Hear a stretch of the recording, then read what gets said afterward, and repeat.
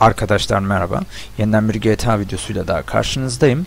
Bu hafta da yine bir uçak satın aldım. Salı günü olduğu e, salı günü olduğu için biliyorsunuz her hafta bir güncelleme veriliyor ve bu haftaki güncellemede de şu an arkamda görmüş olduğunuz uçağı size göstereceğim. İşte şu işaret etmiş olduğum uçak gördüğünüz gibi. Zaman kaybetmeden bir bakalım uçağımızın nasıl olduğuna.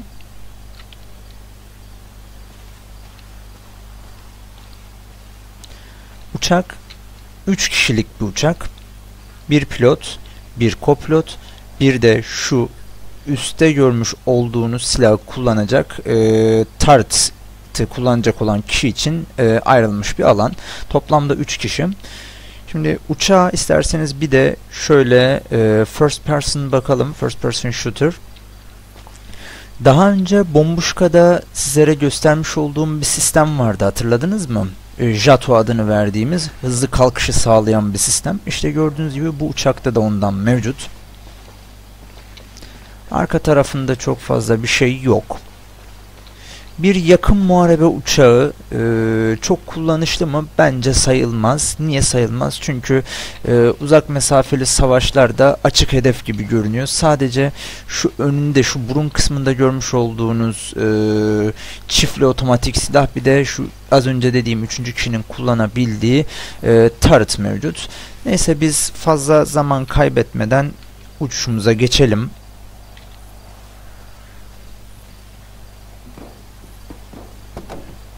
Uçağım görmüş olduğunuz gibi siyah çalar bir koyu yeşil forest green tıpkı bütün uçaklarımda kullanmış olduğum şekilde.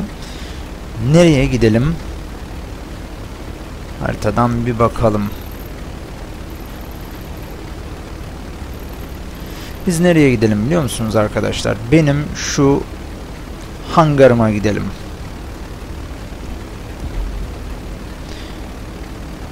Evet kemerlerimizi bağladığımıza göre uçuşa geçebilir miyiz? Bence geçeriz.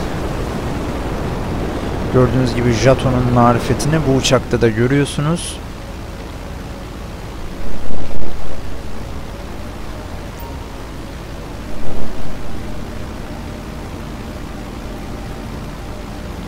Uçuşumuza başladık.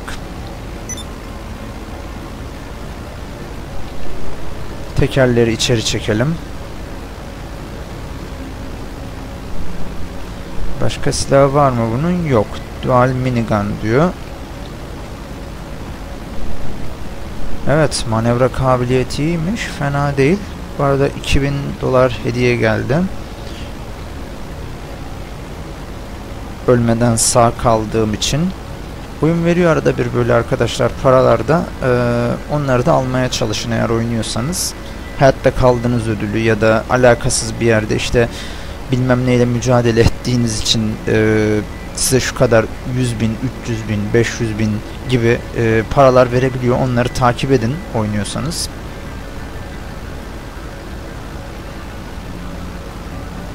Şöyle bir dalış yapalım. Uçak hızlı sayılmaz ama iyi hareket edebiliyor.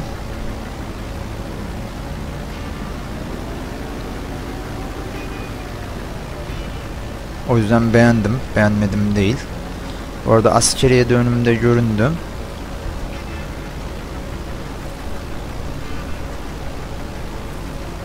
Hemen iniş takımlarını açalım.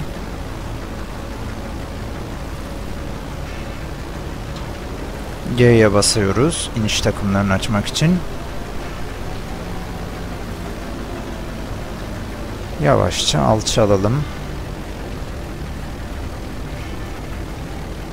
Yavaş. Evet.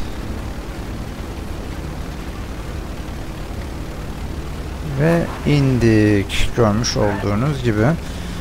Bununla inişi biraz daha kolay başardık. Bundan bir önceki Howard'da zorlanmıştık hatırlarsınız. Çünkü o çok ateşli, çok hızlı bir uçaktı. Hangarımıza doğru ilerleyelim. Bu arada askeriyede olduğumuz için gördüğünüz gibi tanklar nöbette tutuyorlar. Nöbet geziyorlar. Bir askeri personel taşıyıcı aracı. Bu arada o araçlara da sahibim. Bilginiz olsun yani. Şöyle içeriye girişimizi yapalım.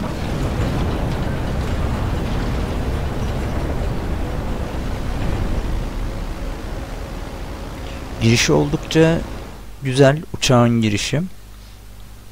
Güzel bir animasyon yapmışlar. İçeriye girmiş olduk. Ee, biraz önce uçağımızda burada yeterli yer olmadığı için onu storage yani ambar bölümüne kaldırdık.